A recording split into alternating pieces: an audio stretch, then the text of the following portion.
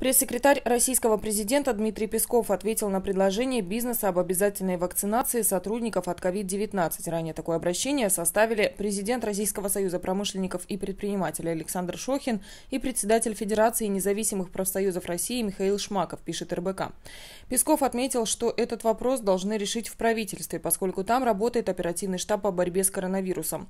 Никакая позиция не сформулирована. Вы правильно отметили, что было обращение в правительство, соответственно, какой-то ответ на это, ответ или позиция должны быть сформированы именно в правительстве с учетом того, что именно там функционирует оперативный штаб, сказал представитель Кремля.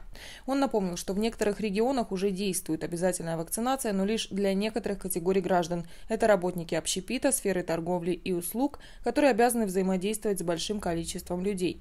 Для остальных вакцинация по-прежнему остается добровольной.